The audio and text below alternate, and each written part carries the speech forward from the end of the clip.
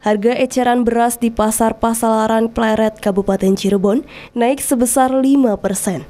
Kenaikan harga beras di awal Ramadan ini masih dianggap wajar oleh pedagang.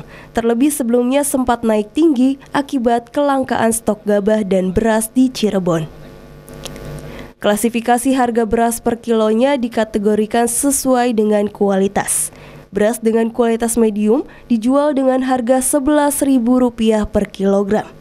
Sedangkan untuk beras dengan kualitas premium dijual mulai harga Rp12.500 hingga Rp13.000. Pedagang beras juga mengapresiasi masifnya gerakan operasi pasar yang dilakukan oleh pemerintah beberapa waktu lalu dan berdampak pada stabilitas harga beras saat ini.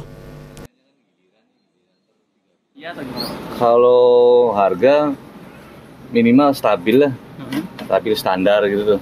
Terus stok stok stok bahannya barangnya stabil nggak nggak kurang gitu. Ya.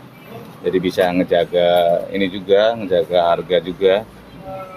Nggak ada lonjakan biasanya kalau barangnya banyak kan stabil hitungan harganya. Hmm.